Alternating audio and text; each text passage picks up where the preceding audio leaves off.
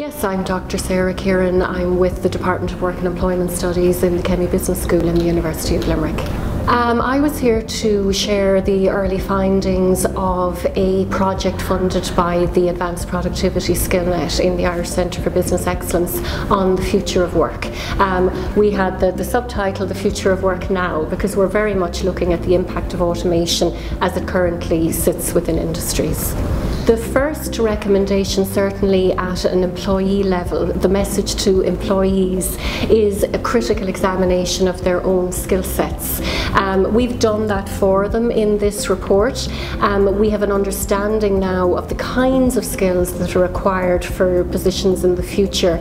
And an overarching finding was that employees need to take ownership themselves for their own learning, seeking out opportunities for those skills.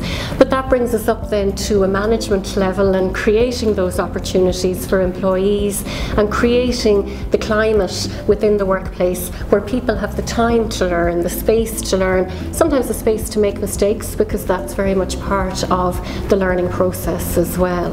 Um, the, the kinds of skills that we've identified are very important. We talk very much now about this concept of dexterity of skill, the notion that within dexterity we have an appreciation of the sharpness of mind, agility, the, the ability to switch cleanly between different tasks.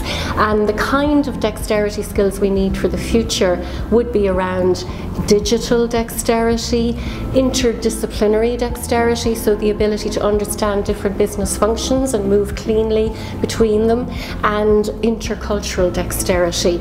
Um, given our location and the kinds of organisations we have, we're now dealing with multiple businesses, multiple geolocations, um, and, and I think they're probably uh, the top three digital dexterity, interdisciplinary dexterity, intercultural dexterity, and then maybe just mental and physical dexterity to bring all of those together. Um, automation is here, um, it's already impacting organisations. Um, I think that one in two people across Europe would say automation has already significantly impacted their roles.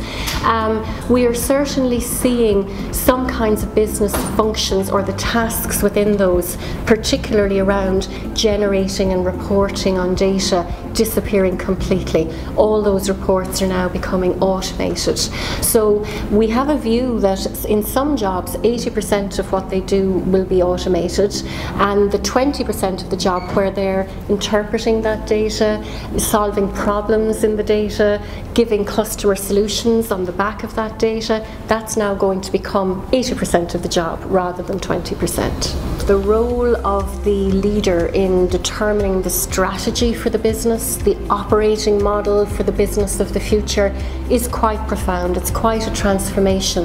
Um, however, what we are seeing is that um, a lot of these skills are becoming very transferable.